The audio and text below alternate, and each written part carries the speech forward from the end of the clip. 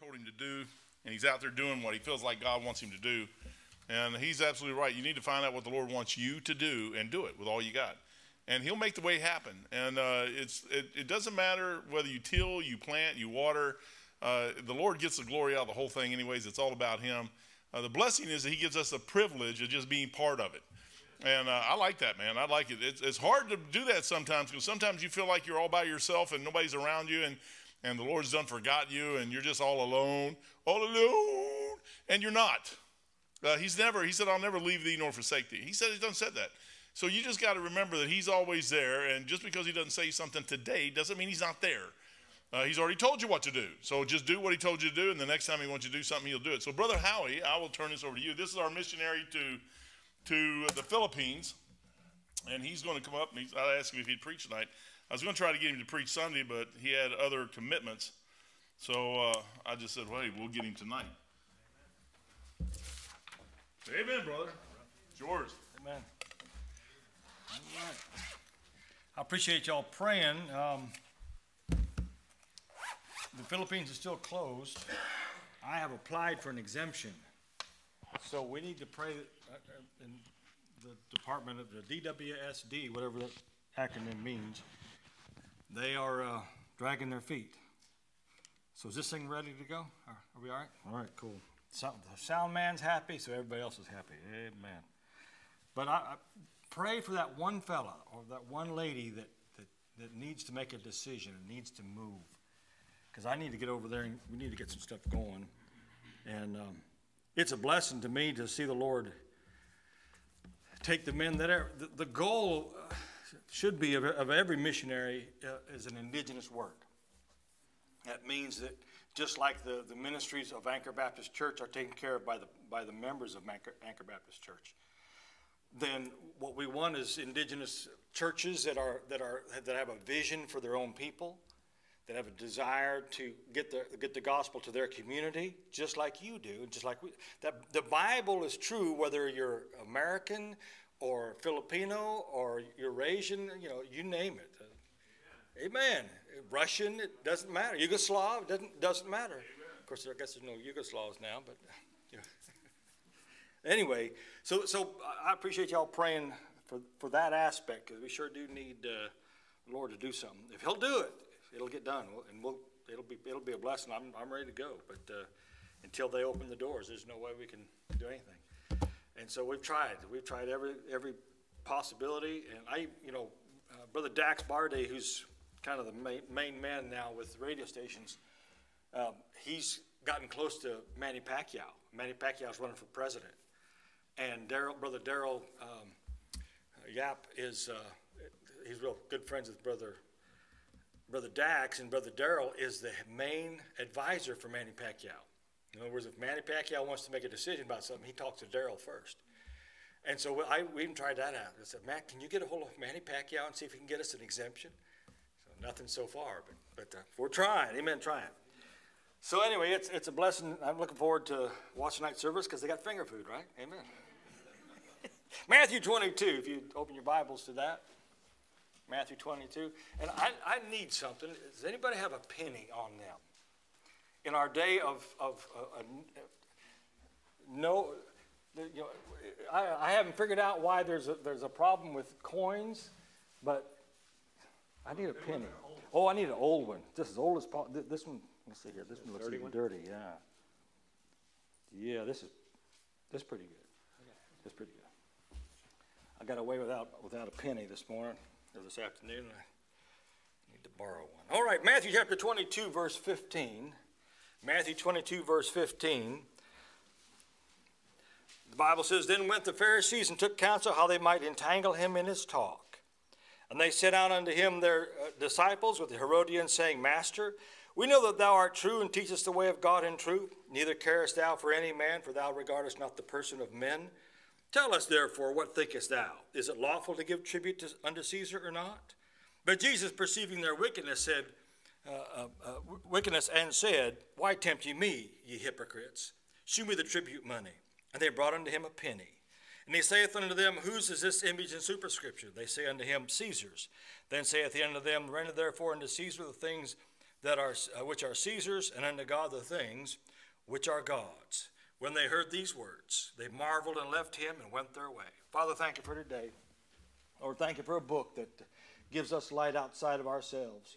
Thank you, Lord, for your work in our lives. I pray, Lord, that you take this time this evening, Lord. Thank you so much for the assembly of the, the brethren. Thank you, Lord, for a place to assemble. Thank you for heat and comfort and, Lord, all the many blessings you put on our in, our, in our ways. But Lord, uh, if you don't bless this time, if you don't come and, and speak to hearts, Lord, it, this will be a vain time. But Lord God, we just rest in Thee and trust Thee and know that you're able to do exceeding above all that we ask or think. And we'll thank you, Father, and pray it in Jesus' name for His sake. Amen. Amen. Um, it's amazing the Lord when He deals. I love reading about what He, how He deals with folks. I'm looking forward to sitting at His feet and let Him teach some things. Amen. One of these days, real soon. I don't know if you thought about this, but it, it won't be too long. I don't think that we're going to hear His voice for the first time. It'll be come up hither. Uh, that I, I don't know what's going to sound like. I don't know the timbre of his voice. I'm sure it's majestic and wonderful. Amen. But when he's dealing with the Pharisees here, they're trying to trick him up in his word in his words. And you know, every time they try to trick him up, he just slammed them. He put the hammer on them and wiped them out, confused them, and, and, and messed them up, up, messed them up. So there's some things you learn from this passage. One, pay your taxes. Amen. Amen. Amen. That, that, that, said, Brother Howard, do you like taxes? No. Who does? Nobody does. But that's, but that, but I mean, the Lord's talking about it. He said, yeah, I got to get, you got to give tribute to whom tribute to do. I like to say this about just kind of an introduction. The, uh, the Pharisees were always tripped up in verse 15.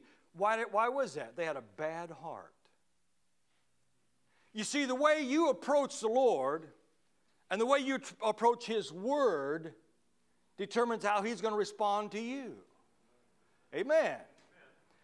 You come to the Lord with an honest, open heart, man, He will pick you up and help you out. And you sneak in the back door with a, with, a, with a bad heart, a crooked heart, then I tell you what's going to happen. He's going to trip you up just like He did with the Pharisees. Amen. The Lord, and it's made this book because it's His Word. When you open this Bible up, begin to read in it, it speaks to your heart the way your heart comes to it. Supernatural book.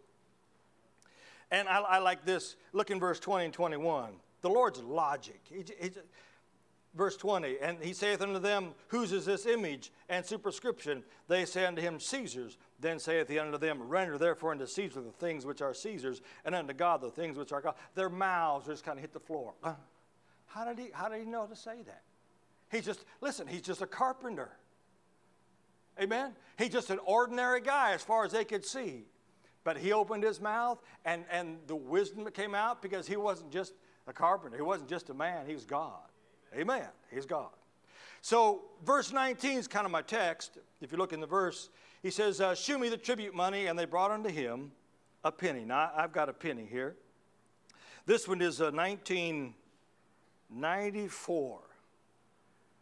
If it was 64, we'd have something. Amen.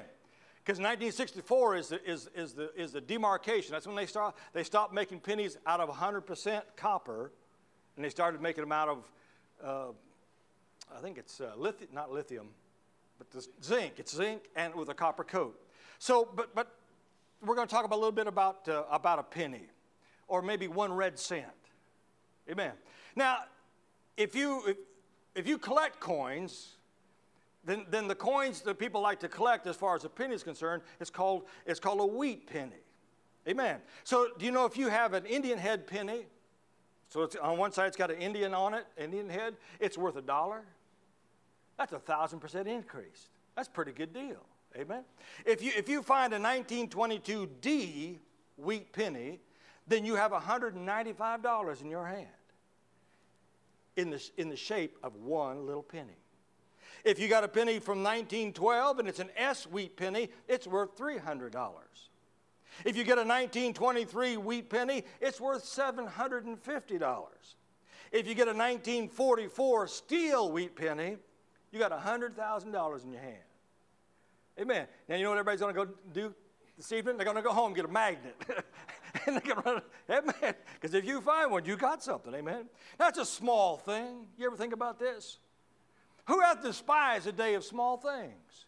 So I'm not much of a not much of a man of God, quote unquote. That's all right. Can you just be God's man? Amen. It's not the big things of this world that the Lord's looking for. It's the little things. And God will take a little effort, and God will take a little sweat and a little, little time from you, and He'll bless it and use it and prosper it. Amen. Little things, little things.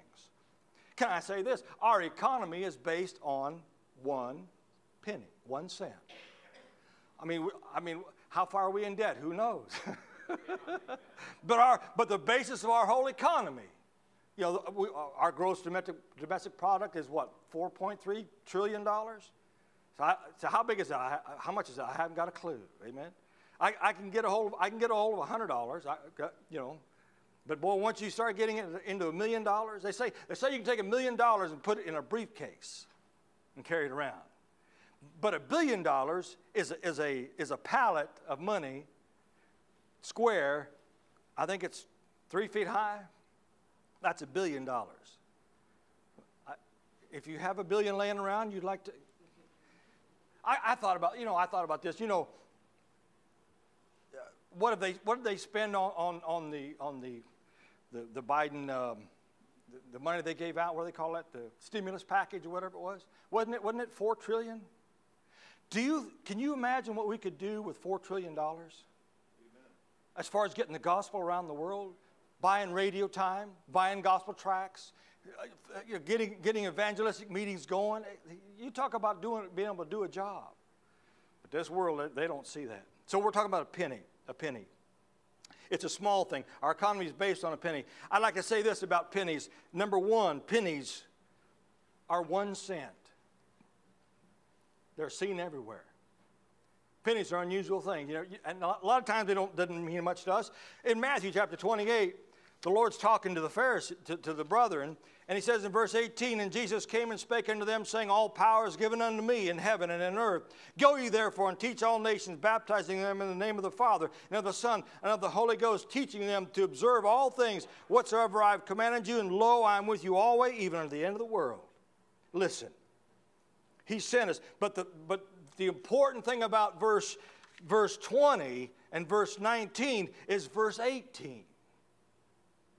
What's in verse 18? Jesus came and spake unto them, saying, All power is given unto me. Hey, the desire of the Lord Jesus Christ is to get the, get the gospel around the world. And the reason why we can go in verse 19 and verse 20 is because of the authority that he gives us from verse 18. Amen. If you're here tonight and you're saved, you know the Lord Jesus Christ and the full pardon of sin then you have a commission from God Almighty to take your penny and use it for Him. That's, that's the goal. That's what He wants you to do. Go ye therefore into all the world. So, the commands to go. The reason we go is that God's given all power to the Lord Jesus Christ. I, I like this. Uh, we're supposed to go to the others with the same need. Amen. Let me ask you something. When you got saved, now think back to that day when you got saved, how did you come to the Lord Jesus Christ? I don't know about you. I came as a, as a sinner. Amen. Amen. I was aboard the USS America, and I heard the gospel, and I heard, uh, uh, uh, I heard Oliver Greene preach on hell. I'd never heard anything like that for my life. Amen. I came out of Illinois, a bunch of Swedish Baptists. If they did, if they believed in hell, they never preached on it. I never heard about it. And my old Oliver Greene preached on hell for about 45 minutes. After a while, the floor was getting hot. Amen. It, was wild. And I re- but so but I realized see that's the point where the Lord brought me to, to re- so I could come to Him as a sinner. Hey, that Bible says that Christ Jesus came into the world to save sinners. He didn't come to save good people. They don't need saving. That's far, that's that's that's their thought. Amen. Yeah, you go. You talk to any any religious person. I'll have you know I've been baptized in the Methodist Church. I give. Amen. Amen. I, you know, I'm faithful. I'm there. All, you know, I play the organ. In ch- those are good things, but that's not salvation. Salvation is a sinner coming to the Savior. Hey, if you'll present yourself as a sinner, then I got news for you. The Lord Jesus Christ will show himself as the Savior, and he will save your soul. Amen. So, how do you know that? He did it to me. Amen. We could go around here and talk, and we get testimonies from each and every person that's really born again. They, they, they tell about a time, a place where they saw themselves lost, lost, and came to the Savior. That's, that's the goal. We're, we're supposed to take the we're supposed to take our, our, our, little penny and go to the others with the same need. They're sinners. We're, we're supposed to go to others with the same feed. Willing, some folks are willing to listen. Listen, I mean, we are in the last moments of the church age. Amen. Our society is narcissistic. That means everything revolves around me. It's not, it's, it's not, the reason why the, the revival swept through America and different places around the world is because they, they, had a, they had a low esteem of themselves and a high esteem of the Word of God and the words of God. But now it's backwards. They don't care. Uh, King James Bible, I, surely thou jest. Amen. It's the ESV. That's, that's the one they want nowadays. Amen. And so, there, therefore, when you, you, you take a little chick, I tried to give one to a guy yesterday, he had a kid in his arms. Let me give you a Bible story. Oh, sorry, I don't need that. Yes, sir, you do. You just don't know it. Amen. I, have often thought about, you know, you, th- you see some young kid, if the rapture happens soon, and I think it will. If you got a kid seven, eight, nine, ten years old, 12 years old, they're going through the tribulation. Seven years of God's wrath on the pennies of this world. Tough, boy, tough. So, where are you supposed to go? Years ago, I was in the Navy in, in uh, Cubi Point, Philippines. And you know, the Navy always has a fire watch. They always have a watch in every building and so uh, the jet shop is a pretty big, pretty big building. And uh, they had a little office that we, they had a coffee pot in there and, and, uh, and a couple desks. And that was kind of the, the, the OD's Uh, room also. And during, during, the, during the evening, the night, when you, when you had watch, you sat in there and answered the phone if someone called. Him this back in the day of, you know, the rotary, you know. And so I was sitting there, and, and, and they had a window right there. And on the window was a, was a ledge, and there was a bunch of ants that, would, that were running up. They'd run up the side wall, and they'd run across that window and went the other side. And I'm like, that's kind of neat. And so since there was a coffee pot there, there was sugar. So I said, I want to happen. So I, I got some of that sugar, and I, and I poured it across their little trail. And here comes one little fella, and he's running up there, and he, you know, I don't know how they, if they smell it. I don't know if, but he decided to take a taste. and his little antennas went bing, you know. He said, oh man, and he was gone. And the next thing I know, here comes the mother load, you know. And, and in, my, my watch was, was, uh, was it four hours normal? So this is about halfway through, a couple hours left. So by the time the, the, the morning shift came in, because I was doing graveyard, then uh, that sugar was gone. It was gone. So what happened? Someone found something good and they took it to someone else. So let me ask you a question. This is the end of 2021. Have you this last year found something good in the Lord Jesus Christ? Amen. So then the, the preaching application is have you taken that goodness to someone else with the same need? Now they may not they may not listen. That's the feed part. That's okay. Amen. Whether they will hear or whether they will forbear, they shall know that there has been a prophet in the land. God wants everyone to hear the gospel message. Amen. And the choice that they make is their choice. But you've done your job. If they say, I want nothing, to, that fellow said, I don't want nothing to do with your Bible. Okay. I'm, I'm, amen. So we're talking about a penny. talking about a penny. Acts chapter 17, verse, verse 6 says, And when they found them not, talk about the folks at Philippi and Paul, they drew Jason and certain brethren under the rulers of the city, crying, These that have turned the world upside down are come hither also. in my life or in your life, if we were to talk to the lost folks that live around you, would they say those things? You know, they would may not use those certain terms, but yeah, he's one of them Christians. He's got a scripture sign out in his yard. Amen, folks. Amen. Amen. We need to be pennies. We need to be the Lord pennies. So pennies are one, are one, are one cent. What stirred those folks up in Acts chapter 17? Well, the only one thing the death, burial, and resurrection, verse 3 of the Lord Jesus Christ. That's the one thing that tears up people's nerves. They don't want to hear about how that he died for their sin. But that's what he did. Amen. And he's the only one that could do it Amen. to pay the price for lost mankind. So pennies are one cent or seen everywhere. Number two, I like to say this pennies are stamped. They're stamped. I, I, I don't know how much pressure it takes to, to make a penny. The pennies, but they take those pennies and they, they, they put them in you know, the, the blanks and they put them in a, in, a, in a press, and that press comes down, 100,000 pounds, whatever it is, and it stamps that penny and makes that image on that penny that you see. And so, there, if you were to take a penny and look at it, there's some things, there's some writing on that penny, and it says some things. I like to say this it's backed by the U.S. government. Amen. Amen. It is. What does that mean for a child of God? Well, that means this. I don't have any, I left my tracks in the, in the truck. You go somewhere, you have the authority to tell someone if they'll trust Jesus Christ, He will give them everlasting life. So, what's, what's, what's different about that? Well, do you know that nobody else in the world believes that? Amen. Let's, let's bring up a Catholic. Well, if you do good and you die in grace and you have taken all the seven sacraments, then you'll probably go to purgatory and burn for a million years, and then we don't know what's going to happen. Amen. Let's take, let's take a Church of Christ. You know, you got to repent and be baptized for the remission of sins. And if you repent and be baptized for the remission of sins, you may not know if you're going to heaven or not. Amen?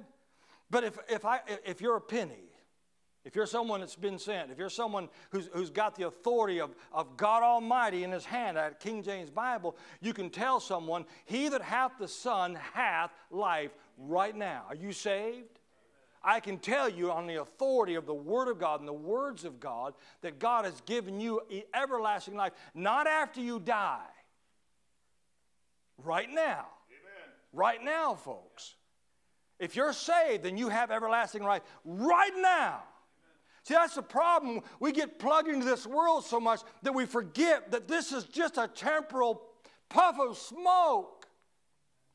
And one of these days, real soon, we'll be walking down the, down the street, and this, this corruption will take on uh, this corruption will take on incorruption. Amen. And then, then we're going to see what really is real. Because I say, well, this world's no, God's going to take His finger, snap it, and it's going to it's in a moment. Not just this world, the whole the whole cotton picking universe. 13.5 billion trillion light years. They don't even know how big it is. He's just going to say, oh, I need to change this one. And, and it's done. That's my God. That's who's dwelling in your heart.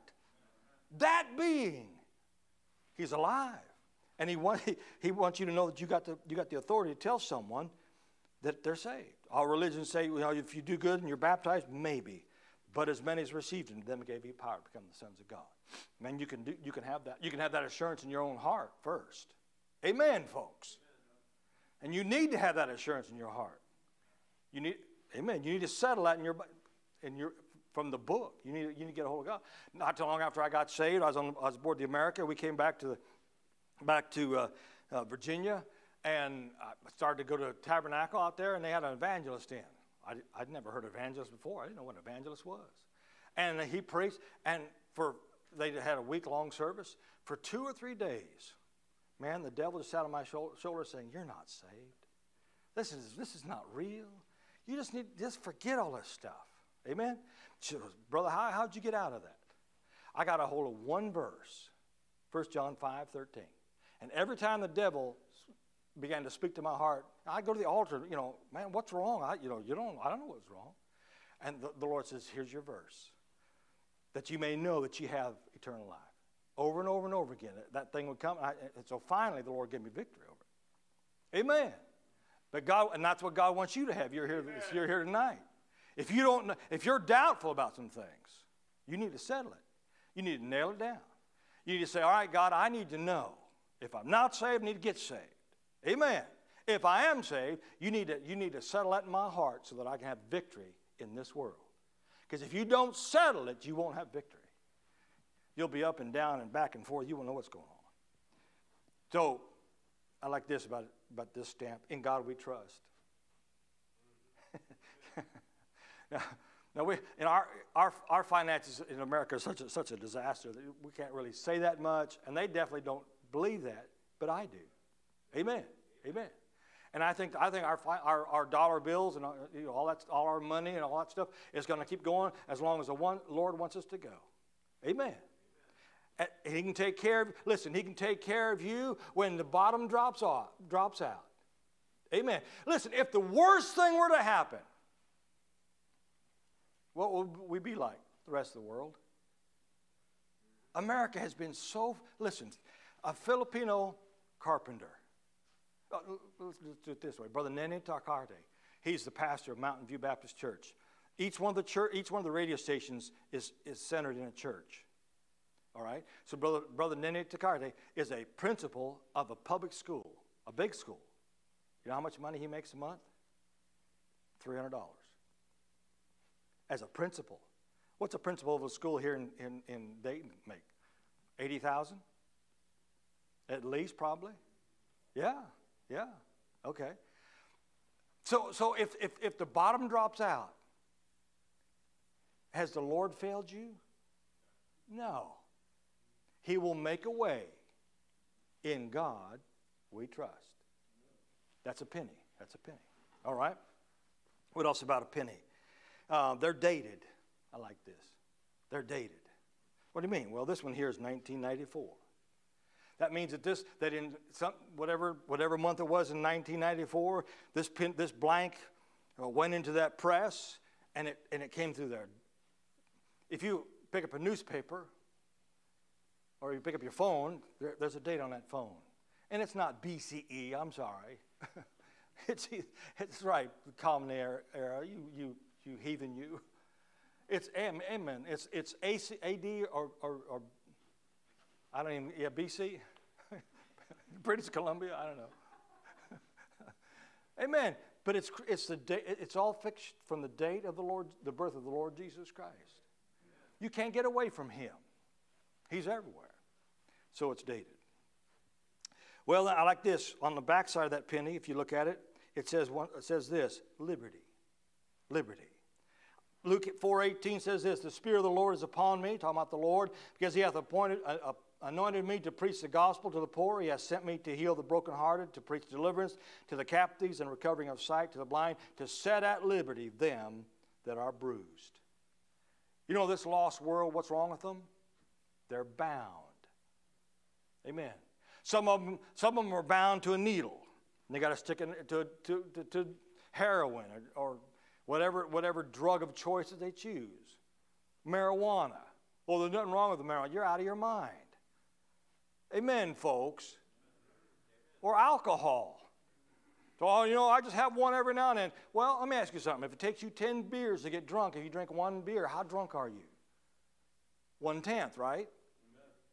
Come on, amen. amen. So, brother, you don't believe in Christian drinking? No, I don't. Amen. That Bible says, listen, I, I'm not real smart. Wine is a mocker, strong drink is raging. Whosoever is deceived thereby is not wise. I, I need all the wisdom I can get. So I sure ain't going to take a, take a drink of liquor. Amen. This world, they're, they're bound to pornography. Amen. They're tied to it. And the, the problem now is it's the young folks because of the, the stinking cell phones. Amen, folks. So, oh, no, not in America. Oh, yeah, in Dayton tonight. Amen. You need to watch out for that kind of stuff. You need to be really careful about that stuff. And, until you get saved and in the book, you're bound to that stuff. I was talking to Brother Paul Gent years ago. And, we were talking about, because he's in a youth ministry uh, uh, dealing with young men all the time. And he said, Brother Howie, he said, these young men are getting saved, but their, their character and their lives are such a mess that they cannot get over the things that they've got a hold of. Amen.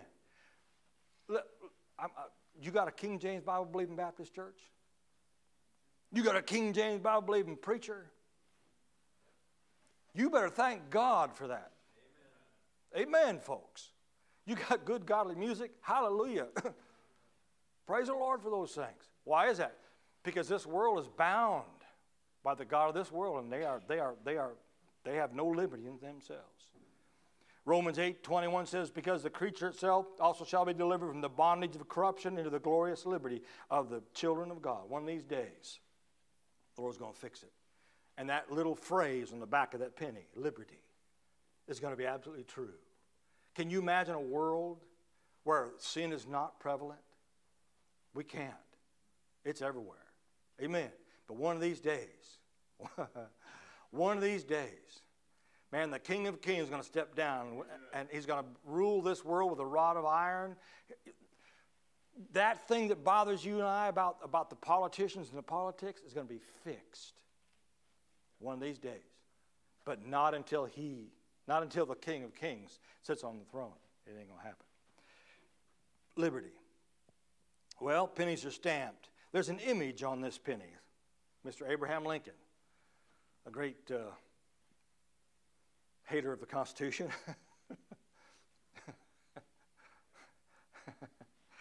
I'm probably going to meddle here a little bit. I didn't realize, you know, I, I, was, I was born and raised in Illinois, in the land of Lincoln. But when I got saved, started getting into the Bible a little bit, started doing a little bit of reading, I re, all of a sudden I realized there's a lot of things that he did that wasn't too, wasn't too kosher. Amen. He did, what did away, did away with habeas corpus, ignored the Constitution. Yeah. So, anyway, there's an image on that. What does that mean? That means that one of these days, one of these days, I'm going to be conformed to the image of, of God's Son. I'm going to be just like Him. You ever think about the Lord Jesus Christ? He never sinned.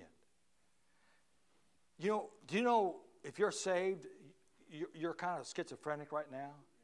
Because you've got this old man that if you let him go, if you just turned him loose, do you know where you could be?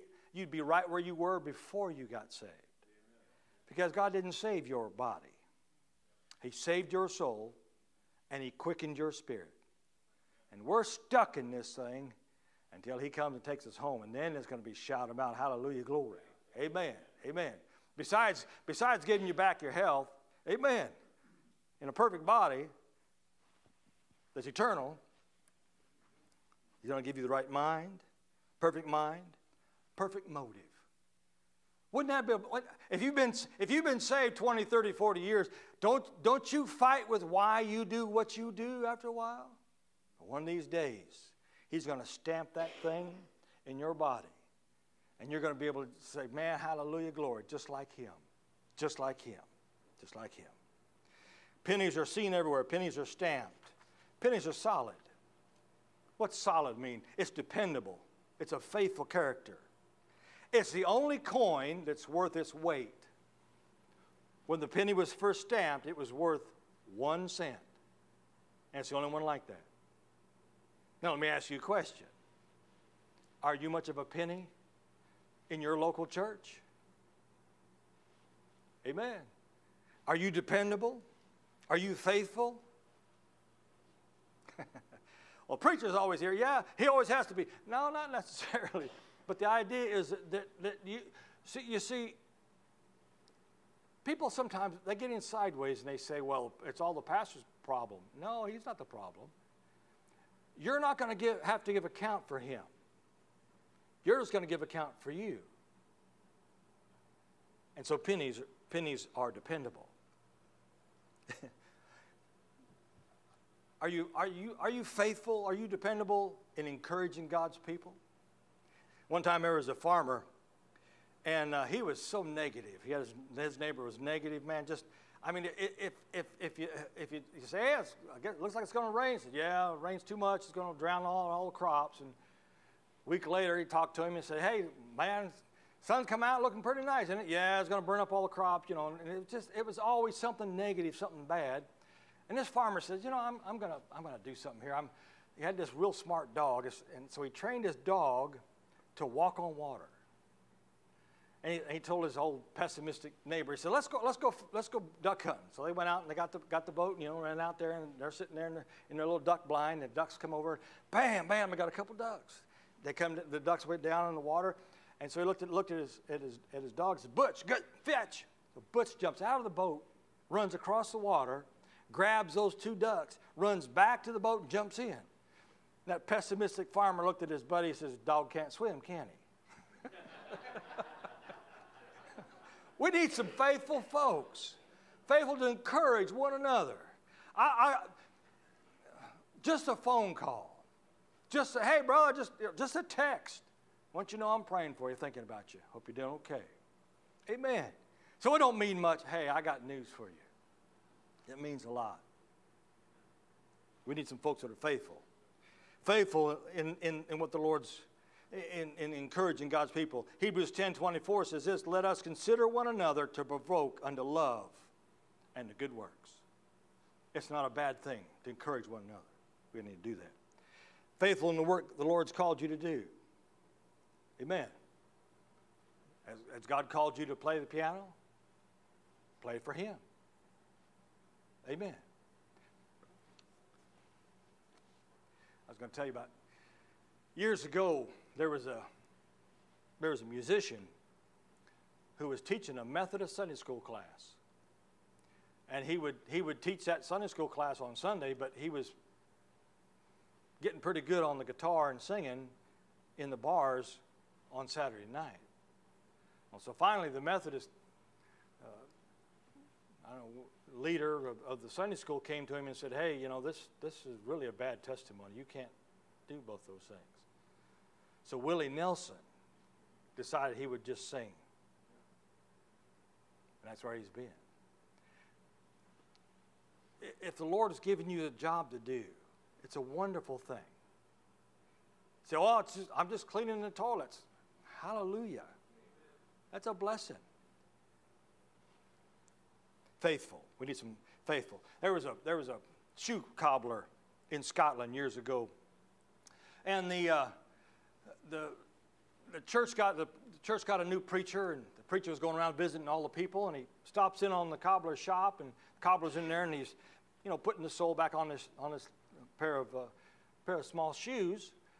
And he begins to talk to him, and, and, and he used some pretty deep theological terms, and the, the cobbler responded with, with his own incredible insight into the, into the theo- theology that this, that this pastor was, was talking about. And the preacher was kind of astounded. He said, Man, I, I, I can't believe that you, that, you, that you have this understanding and this depth, uh, and, and, and all you're doing is, is, is, is cobbling shoes. And the, the cobbler looked at him and said, Take that back. He said, What do you mean? He said, I said, take, He said, Take that back, sir. He says, These shoes belong to Widow Smith's boy. And Widow Smith has no, no one to take care of her except her son. Her son goes out and sells newspapers all day long, and, and, and the Lord told me to, to fix his shoes so his feet wouldn't be wet, so he wouldn't catch cold and die. So I'm cobbling these shoes because the Lord told me to do it. And I hope that you're preaching and, and ministering because the Lord told you to do it. If God's given you a job to do, do it. We're pennies. We're pennies. Pennies are solid. There's no task that's menial, menial if it's done in the will of God. Pennies bring security. Pennies are solid. You know, if you got one penny in your pocket, you'd never be broke.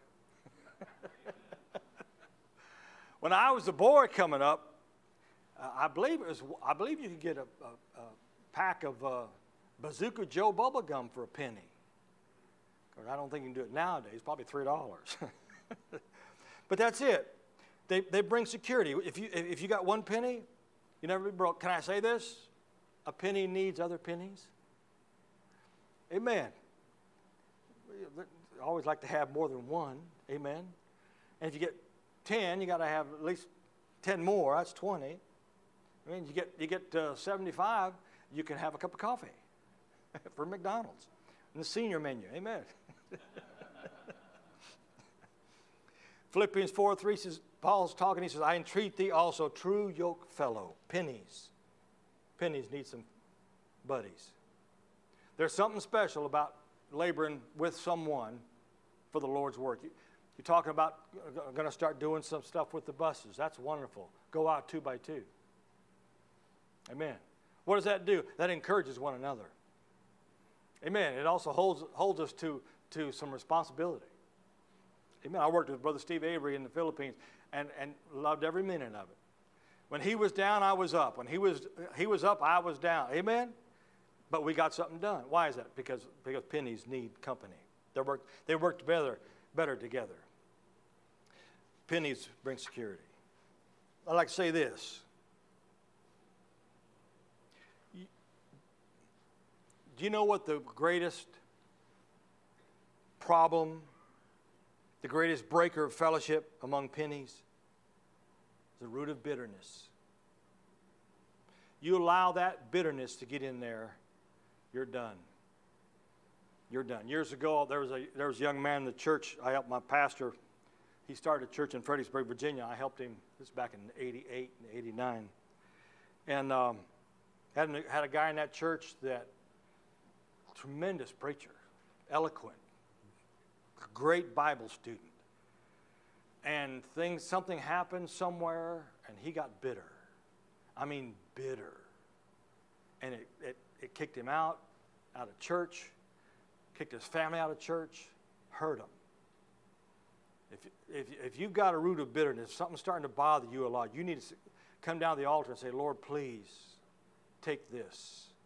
I can't handle it take it and lift it up, and make it real big, and say, God, would you please help me with this because I can't handle it. And He'll take it, He'll take care of it. It may take some time. Well, let me say this pennies are shiny. Do you know when I, when I got this penny, it was, it was pretty dark. Amen? But as, as, I, as I've been up here, I've taken my, my thumb and my finger and I've, I've, I've just kind of rubbed on it. Just a little bit, not a, not a lot. Doesn't take too long, pretty soon that penny begins to get shiny. Say, what's happening there? Well, a little friction, a little pressure. And you're, uh, one of the reasons why God sometimes allows the things in your life that are the troubles that brings pressure and the things that, that, that, that, that the friction that you feel between yourself and the Lord is the Lord's working on you. Why is that? Because He wants to brighten up your penny. He wants to take your little penny and put it up so the world can see it. And the only way they can see it is if you reflect His sunlight. The moon is a type of the church, of the believer.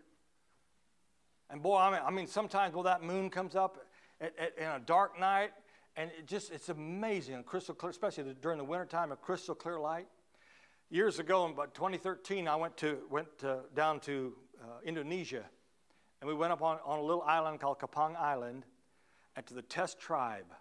They're 7,000 feet in up, up in the mountains, no electricity, no lights anywhere. And you would step out of your, they had a stay in, staying in a little school. You stepped out of the school looked up, and it's almost like you could reach up and touch a star. And the moon came up over those mountains. It was, it was amazing.